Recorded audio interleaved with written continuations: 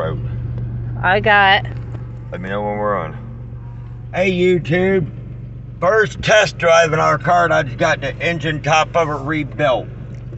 All I gotta do today is just put a little bit of JB Weld on the CV joint because it had a little tiny cut in it, but it ain't bad. You can still drive it. I just gotta patch that hole up. Just a little tiny hole. But I just had to take the front wheel off to fix the vacuum plate quickly because where we it was bent all to hell because where we had to knock those bearings out on the driver's side. This is the first test ride ever. This was a surprise video. My dad's gonna take us down right now down the street to the gas station to get fuel. um, this is our first test drive, guys. And 16 videos online of the car repair, so that was the last one you got right now. and yeah, guys, he did get insurance on it today. Yep.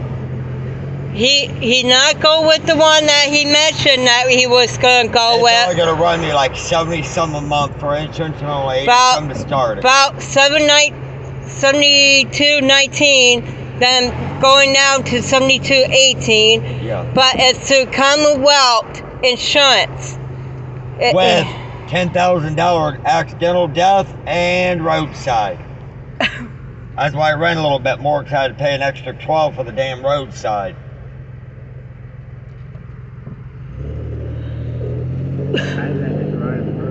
And I'll tell you what, Does- guys, doing this video for you guys, man, it's giving me chills up my ass crack because right now, since last year to this year, was a tear down or rebuild procedure. Yeah, you'll probably hear a little squeaking and all that in the front, but that's from the heat, the bearings, different things trying to get broken in. But as long as it runs, I don't care. Because you don't really hear much out of it. I got the exhaust done last night.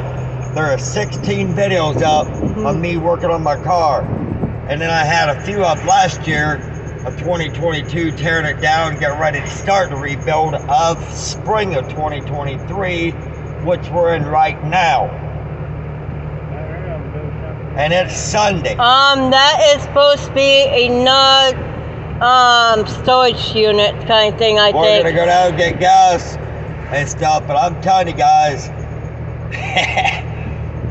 finally got this on the road. Woo, woo.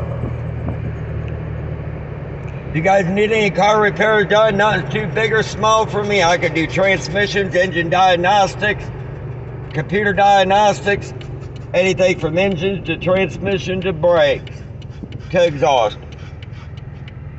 Still got a little rubbing, but not bad. It's on this side. I'll fix that side, but not that bad. Just a little dab of rubbing. Um, it's on my side. Go to number three. Three. All right. Let me get around this way here. And a little bit on that side, so All right. You still got a little bit rubbing. Number three then? Yeah. Yep. Let me have the phone. We just gotta fix that little bit of rubbing, but that ain't no big deal. There's still a little bit on each side, but not much. Well, it ain't on this side, it's front driver. But I'm getting ready to put this Marvel's Mystery Oil in. I did half of a bottle in the oil initially when I got the engine done. And he's gonna dump the other half in the gas. It's good shit. I've used it for years. But as you can tell, we're at the gas station right now here at Marathon. My dad's going in right now to pay.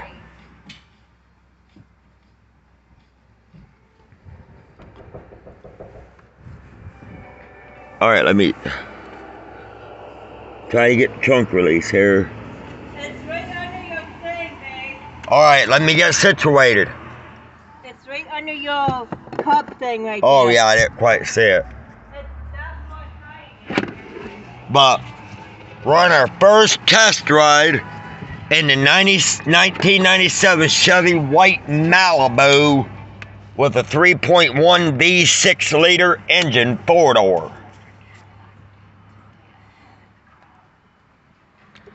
See right there's the gas pumps. There we are, guys. Here I am. Hi, guys. There's Lacey getting in her trunk for my damn funnel for the Marvel's Mystery Oil. That's all I'll ever use in the tank in the oil. If you dump it, just dump like get a big, huge bottle of it. Dump half in your oil, and every oil change, and around every couple, two, three months, maybe dump it in your gas. That cleans out your lifters, everything, your injectors, and all.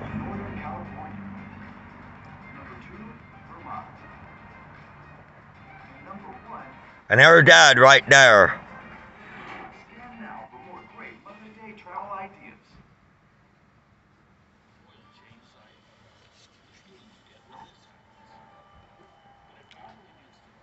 But anyhow, guys, thanks for watching, and thanks for all your guys' support and my videos and redoing this car.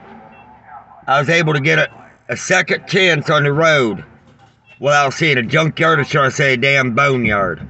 Um, believe me, guys, I didn't think I'd be driving this car right now. Um, I was hoping to have it done first part of May, but it's almost the end of May. But I got it done before June, you know, so We run in while you're doing that and come back out. um, Oh, do you have the uh, right here on my seat, Lacey. Grab But- my- get my phone and my thing. I'm filming. But anyhow, guys, there's Lacey.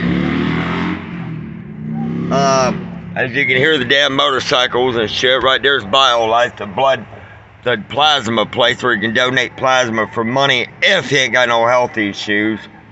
Which I don't like needles, so that wouldn't be for me. And I got health issues, so I couldn't go in there. Lacey couldn't go in there, dad or mom. But anyhow, well being, we're next to the car wash here at the marathon. Um, so, and it's called the 5K Carryout Marathon, as you can see. But anyhow, guys, I will upload this Um, video. Just slide up for me. I'm sliding up for Lacey. Where did put my no fitting? Yeah. They'll go farther than that one. yeah. It misses a little bit, but that's because I don't know if it's bad gas or what, but I'll have to check all that later. But at least we got a car that's on the road, guys. It being a 97, it ain't gonna be in real perfect shape or anything, but um, yeah, as you can see, we pulled forward right there. Um, but anyhow, guys, I will upload this video. But last night's welding video was the last 16th one because there was two parts to that then we did an antifreeze test drain and refill flush and refill. Then i had an exhaust video up putting everything together showing you how to do it. Then the second part of that first part was a welding and that was the last 16th video. Plus a few from last year from tear down a little bit and then this year the rebuilding of the top part of the engine. But I'm out. See you on the flip side. Bye, guys.